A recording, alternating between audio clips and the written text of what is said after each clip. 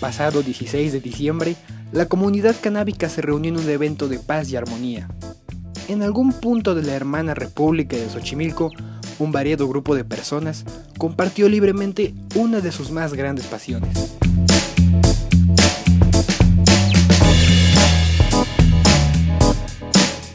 Nosotros fuimos a conocerlos, y es que esta gente se dedica a todo. Primero, platicamos con Fumanchu, quienes organizaron el evento, y con THC, por quienes fuimos invitados.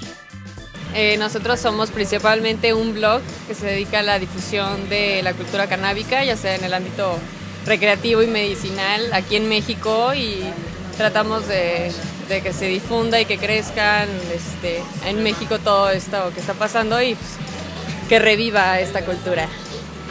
Y somos tienda en línea también.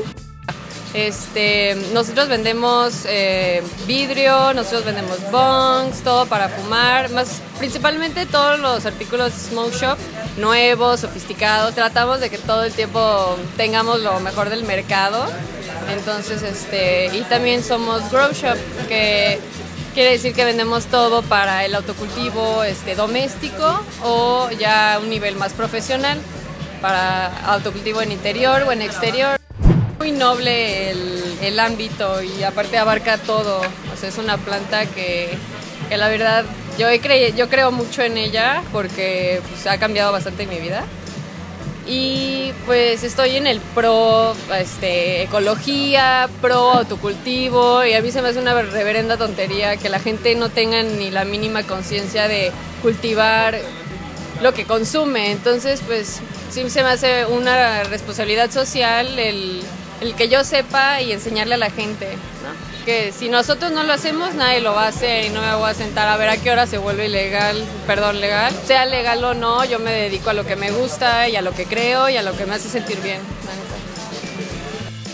Comenzamos hace dos años. Eh, tenemos productos, playeras y otros productos en venta. Y nuestro objetivo, eh, como la marca, es fomentar la cultura. Entonces, ¿cómo, cómo lo hacemos?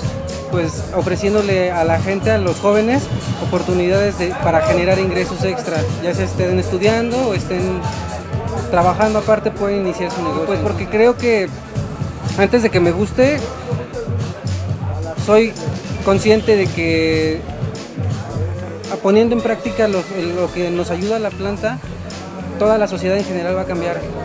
Entonces, como yo ya lo sé, si no lo aplicara y no ayudara y no fomentara eso, me consideraría como algo estando en contra de, ¿no? Y por lo tanto, no, yo creo que la planta es lo que nos va a dar cambio a muchas cosas, pero no hemos sabido darle el mensaje a la gente. Y pues ya estamos en el 2018 casi, ya es momento de hacerlo y pues ahí está el granito de arena y obviamente pues esperamos que la gente, que toda la gente se sume y más marcas y esa es la idea, ¿no? Presentar marcas, hacer cosas para que la gente se motive y vea que la planta no es tan mala. Lo que yo vendo y lo que yo hago no es ilegal. Yo no, yo no fomento a la gente a que consuma marihuana. Yo lo, yo lo que les explico a la gente es que si lo hace, qué, riesgos lleva. Y si lo va a hacer, entonces que lo haga de una manera en la cual sea más didáctico para los demás y pues al final de cuentas es hasta para tu familia, ¿no? Poder entrar y, y, con tu playera y portarlo con gusto, ¿no? Al final de cuentas hay una cultura y un concepto que te respalda.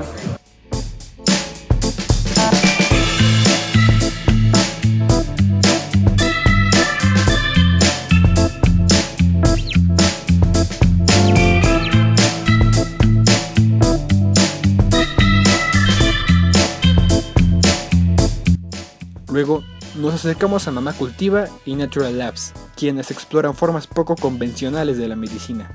Mamá Cultiva somos una fundación que nos dedicamos a apoyar a las mamás que necesitan del uso del cannabis medicinal para sus hijos o para algún familiar que tengan que lo necesite. Cultiva surge por la necesidad de ver a nuestros hijos mejor, porque los fármacos que te dan en, los hospitales son muy agresivos.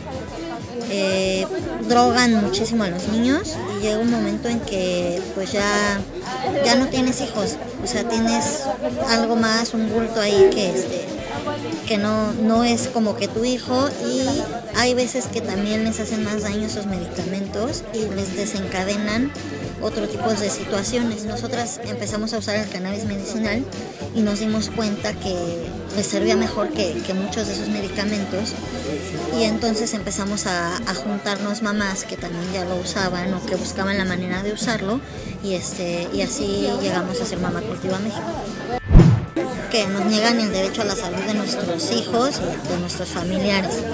La segunda es el miedo que, con el que nosotras vivimos de la prohibición de que algún día llegue este, alguien a decirnos que, pues, que te tienes que ir con ellos y dejes solos a, tus hijos.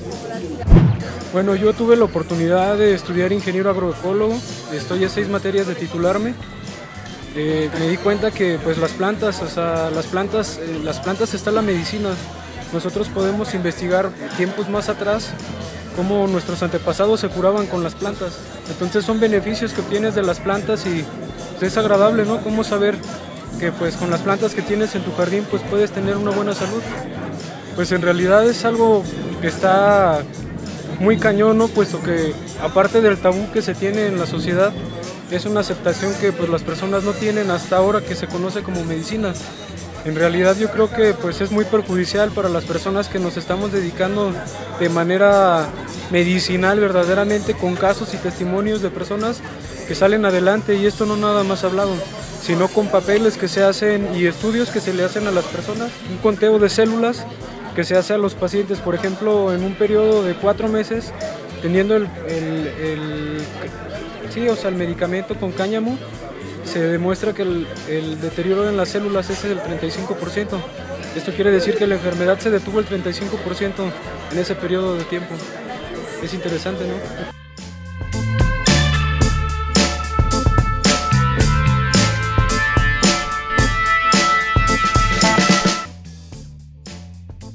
Y como a los pachecos nos encanta comer, no nos resistimos a conversar con dos expertos de la comida canábica, entre otras cosas, Canabito y Huichilopostli. Vi que nosotros los consumidores teníamos una necesidad seria de que alguien nos proveyera de cosas buenas, que al final, si lo vemos como la parte de eh, disminuir los riesgos y los daños en el consumo, pues comido es muchísimo más bondadoso que fumado, ¿no? Incluso, ¿no?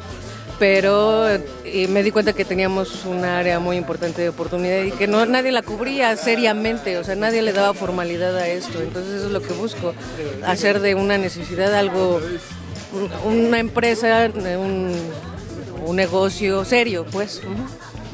Incluso yo sé que al final pues esto es un riesgo y pues justamente creo que el tener un proyecto así demuestra que se pueden hacer las cosas bien aún estando en la ilegalidad, se podrían hacer muchísimo mejor reguladas. Entonces, eso al final también es algo que quiero proyectar en, el, en esto que estoy haciendo y pues al final busco también que todos crezcamos, ¿no? Y que eh, ahora sí que liberen a María, eh, pues básicamente son eh, flores y extracciones orgánicas lo cual quiere decir que están libres de pesticidas y cualquier tipo de sal que pueda dañar al cuerpo humano. Y bueno, pues tenemos varias cosas, tenemos desde extracciones, wax, rosin, hash, flores y también tenemos dulces, tamarindo, dulce de leche, varias cosas que es este ahora sí que los dulce ahora sí que los dulces típicos mexicanos pues, empieza a haber apertura ¿no? en México a lo que es la cultura canábica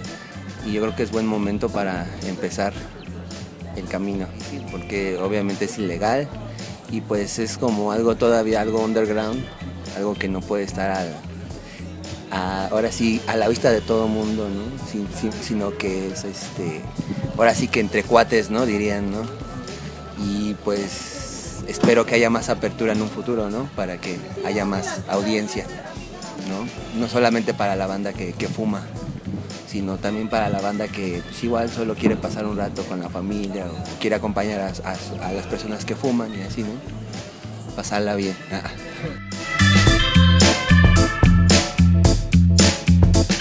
Al final, los compas de Mota Comics nos compartieron un poco de su trabajo. El negocio básicamente son historietas, inspire psicodélicas, con risas garantizadas. Vienen aderezadas también con un poco de información. Este, historias, es este cotorreo, cábula, ¿no? Para que te claves en texturita, porque es la tradición de echarse un porro y ver dibujitos y reírse y leer algo interesante. Nuestro negocio es el arte, más que nada la filosofía, el arte, las letras, los dibujos, los colores, el universo. Porque nos gusta hacer cómics más que nada y también la mota más que nada, entonces pues es una buena combinación. Y hay una tradición de cómics pachecos antigua, entonces pues nada más estamos siguiendo esa tradición, lo cual nos parece muy divertido porque es dibujar y pachequear y pues intentar viajar si se puede, ¿no? Y hacer dinero en el proceso. Motocomics es mucho arte. Y es absurdo lo de la ilegalidad de cáñamo porque... Sí, por supuesto. Es absurdo. Porque este, justo lo que dicen... no, se puede tienes negar. Que Ajá, tienes que informar, ¿no? Y este... Vayan al canapé. Y sí está... O sea, está culero que no dejen informar, ¿no? Que no dejen hablar, ¿no? Y, esto es pues menos serio, la verdad, o sea, como que pues ellos sí andan más en la onda política y tal, y nosotros pues realmente no hablamos política, porque pues realmente no es nuestra onda. Y entonces pues no, son dibujitos, son dibujitos inofensivos.